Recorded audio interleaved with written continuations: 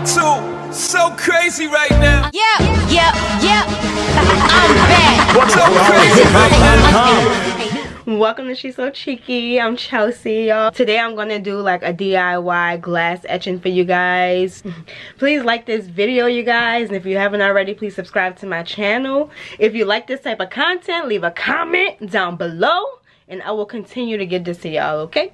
For this project, you're gonna need Armour etching cream, a sponge, your coasters or any other glass thing you plan on using and as well as your templates. And I printed mine off of my Cricut machine so if you want to know how I do that then just leave a comment down below. So first you are going to want to take your template. I'm placing mine on the opposite side of the glass so the print will be underneath it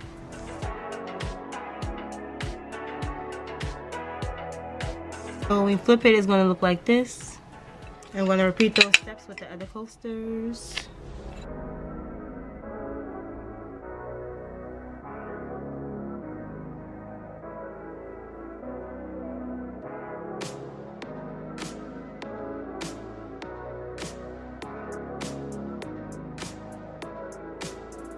Your coasters should look like this. Next, you want to just take one, you want to flip it upside down or wherever you put your sticker at. You want to just take your sponge. I'm actually going to put some in the cap.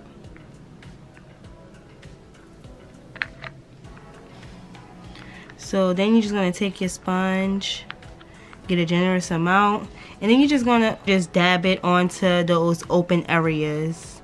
And you want to apply like a generous amount um, just to make sure you're covering everything the more you put the darker it'll be. And be sure not to get any on the, any excess on any of the regular glass because girl once you get like a little bitty piece of it on that it's gonna definitely turn it into like a etching you know so.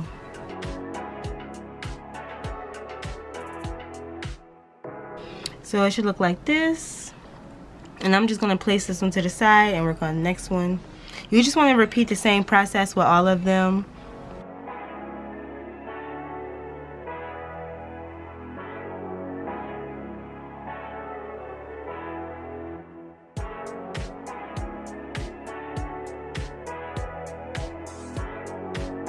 So it should end up looking like this and then you want to sit and let them dry for about 15 to 20 minutes. Then you want to just rinse it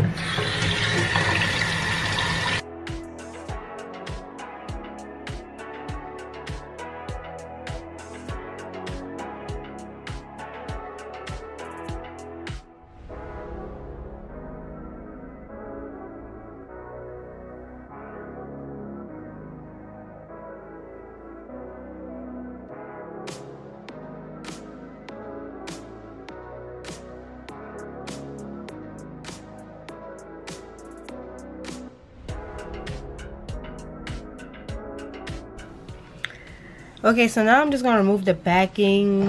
Um, I'm gonna use this weeding tool to, to weed out the backing.